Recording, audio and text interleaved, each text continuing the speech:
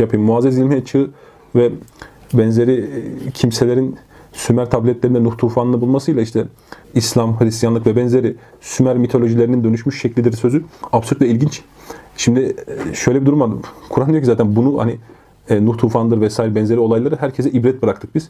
Şimdi Sümer tabletlerinde bu olay geçmeseydi mi İslam'a delil olurdu, geçseydi mi? Geçmeseydi anlatıyorsunuz böyle şeyler hiçbir tablette yok.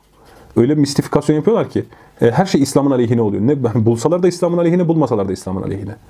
Biz diyoruz ki evet var. Bak buna da bütün şa- e, mitolojilerde var olması, e, halk arasında söylencelerinin bu kadar yaygın olması, e, dünyanın bütün mitolojilerinde varlığının olması. Mesela Orta Asya Türk mitolojisinde de Nuh tufanı var. Kuzey mitolojilerinde de benzeri var.